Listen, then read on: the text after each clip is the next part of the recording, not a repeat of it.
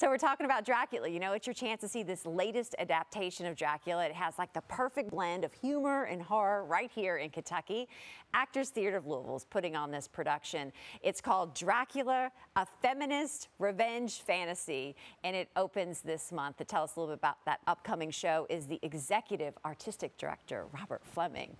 I'm ready. I'm sorry. I am so ready for this because, you know, just following all the buzz about it on Instagram and TikTok has been incredible. I mean, this is an adaptation from Kate Hamill. Yes. Right. So people that maybe are not familiar with her work, why her version of it? Well, Kate's um, a kind of master of um, adaptation, classic adaptation. She's done uh, Sense and Sensibility, a lot of Jane Austen's work.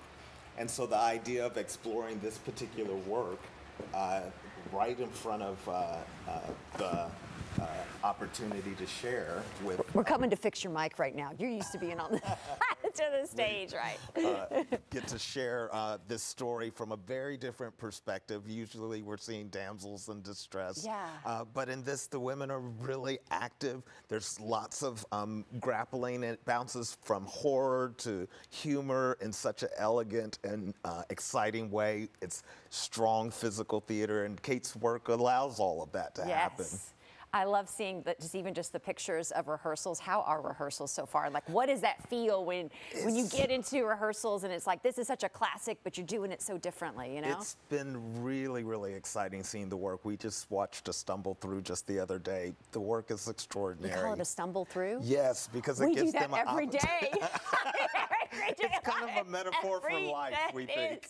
You know- barely made it on the air today. Exactly. Just like the last two years, there have been challenges with COVID. There've- like, There's just life happens. Yeah. Um, and art keeps happening right in the face of it. And that's what's Mm-hmm. really exciting seeing such strong work come out of um, these really dedicated artists' uh, mastery of their craft. Will um, will it predominantly be an all female cast, like for the most it, part? It, has mostly females, Uh-huh. um, uh, but uh, is uh, course- Dracula a female? No, Dracula Okay. is. Uh, uh, it, it, what's so interesting? is just really charming. So you Yeah. can really understand why. Um, there is this pull between a shadow side and a and a truly um, interesting pull because he Mm-hmm. really understands something about human nature, and uh, it's just been really really fun watching. Um, it is the physical work, the humor. We've got um, extraordinary uh, creatives working on the project. Dave Anzuelo, who's working with the movement and the fight choreography. Uh, Joy, who's working with the dialect work. Um, it's just very much the classic and also very much a contemporary lens on Yeah. it.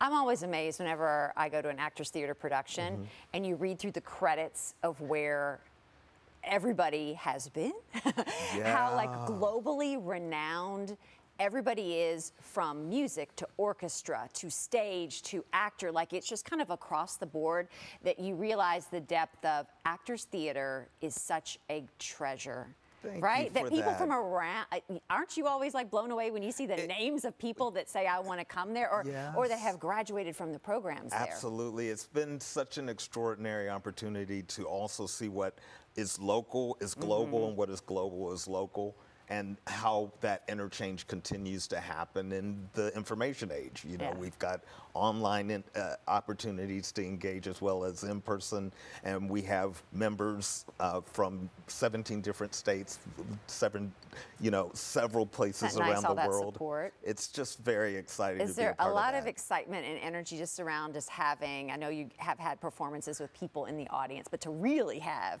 you know, people in the audience this yes, time. Yes, and and while we've done that, it's really exciting because it is a blend of some extraordinary uh, Louisv- Louisvillian talent, Uh-huh. as well as um, uh, folks from New York who are in this particular company as well, and so it's kind of what we do well, you know, Mm-hmm. uh, being able to have that intersection of both. And it's not many. It's not a long, long run. Like this is a very limited run. It's a it's a tight run, uh, September 9th through the 18th. Whew, it's short. Uh, and um, Get it while you can. So get it while you can. Yeah. Exactly. S- tickets still available. Where can Tickets still go? available, going fast, Yeah. uh, selling well, but we'd love to have you come out and enjoy the work. All right, Robert, thank you so much for stopping Thank you, by. Claudia. I will be there. Because I'm to ready it. for it. All right. Uh, so, for more on if you'd like to get those tickets and learn a little bit more about the show, just head on over to actorstheatre.org.